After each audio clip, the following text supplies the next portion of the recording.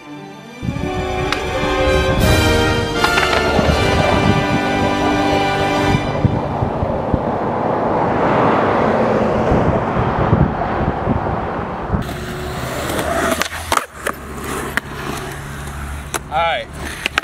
Back threes on flat. That was pretty cool to be honest. Like back threeing on flat is so awesome.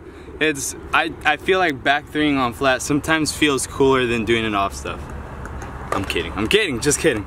But for us, how to back 360. Back threeing on flat is way harder to me than back threeing off something. And that's my opinion. I don't know, man. You try doing a back three without the pivot, like some people go back three and go.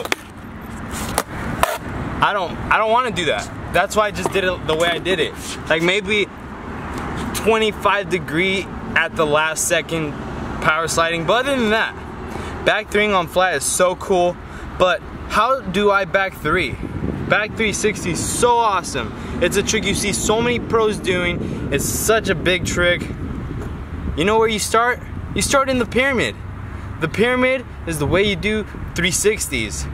Backside 360 will help you so much if you do it on the pyramid every day, every day. So how do you go about it? You go about it by going right here. All right, how do I back three? I make sure that my foot's out there, right there. Look, like my foot is sticking out right there. It's good and sticking out. The reason why it's sticking out is because whenever you're going for the full rotation, I'll come back to that right now. You make sure that this foot is comfortable, like it's covering your foot, your the board, most of it. And make sure you're comfortable, like it could be up here, up here, up here, middle, back, I don't know. Wherever you feel comfortable for this trick. And just know, right there. So let's say, we got it, we got it. Our full rotation. Now, what you wanna do is for this back foot, you just wanna wiggle it. You wanna feel comfortable, like, okay, this is the one.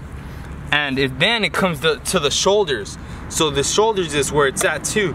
So you wanna just turn. You wanna be ready to spin. And what I mean by spinning is you've gotta be ready to throw it. Throw your shoulders, throw your, like you know you're gonna spin. So, what I, if you've seen the front three trick tip, you'll know what I'm talking about. So what you wanna do is, right here, let's get comfortable. All right, so I'm comfortable for the back three. I'm comfortable. And what I do is this, I make sure that when, before I turn, I'm like, my shoulders are parallel to the board. So it's like a cross almost. And I have my shoulders ready to spin. So whenever I get here, and it's like my shoulders are completely in line with the skateboard, that that's when I pop. So I do this.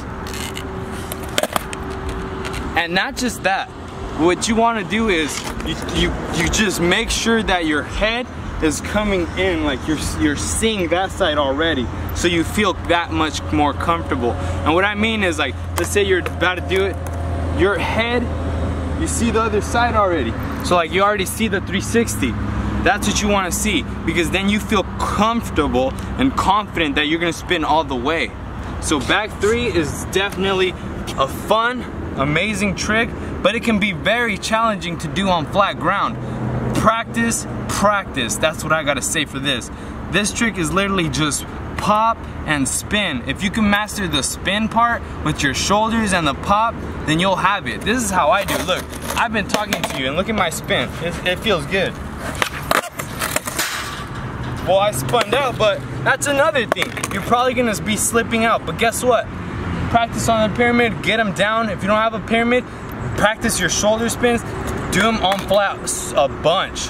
Just make sure to spin and pop. So whenever you spin and you pop, make sure that you're going in line in the speed. Sometimes you might mess up, but other than that, you got this trick. Back 360, you got it. Thank you guys for watching. If you got a trick that you want me to get to, leave it in the comment section. I'll get to it. Thank you guys for watching though. Seriously, I'm gonna keep making more like, subscribe, and I'll see you guys in the next video. Sign out till the next one.